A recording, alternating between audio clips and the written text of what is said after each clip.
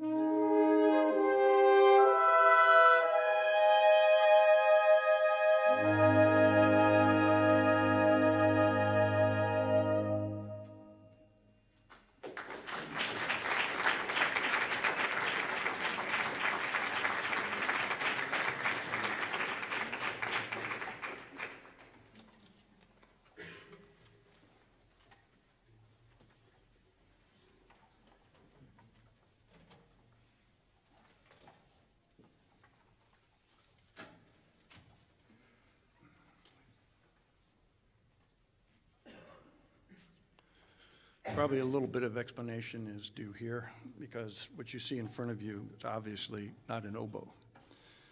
This was originally written for small chamber orchestra and oboe soloist. Um, Harvey Zorn, who was the first oboist in the Phoenix Symphony a great number of years ago, reset this for wind band and solo oboe. And actually, it was written for the high school band that I played in here and played in when I was a student in Scottsdale. We have an extraordinary talent right here, so I decided that keeping with the kind of eclectic nature of this ensemble is to see if we couldn't edit this slightly for soprano saxophone and chamber winds. So that's what you're going to hear tonight.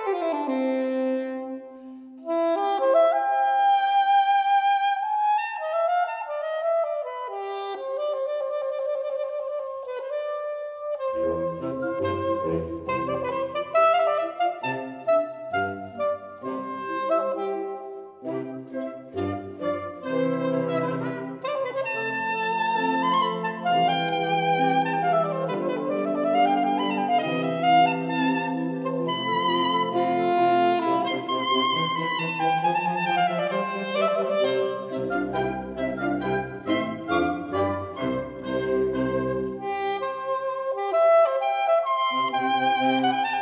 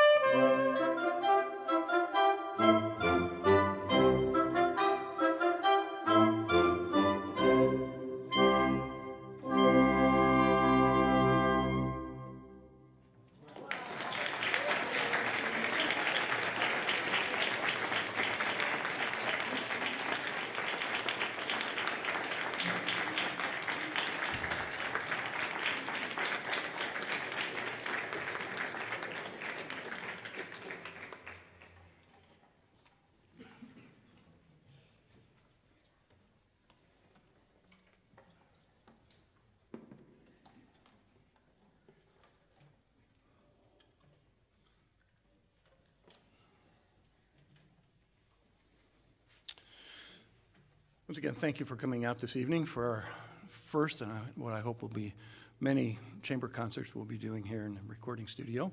We hope that you have enjoyed the evening. Uh, we'll close now with uh, kind of a unique piece. The title, uh, I think, gives it away to some degree because it is like nondescript, but simply entitled, as you see in your program, Velocity. And quite frankly, that's what it sounds like.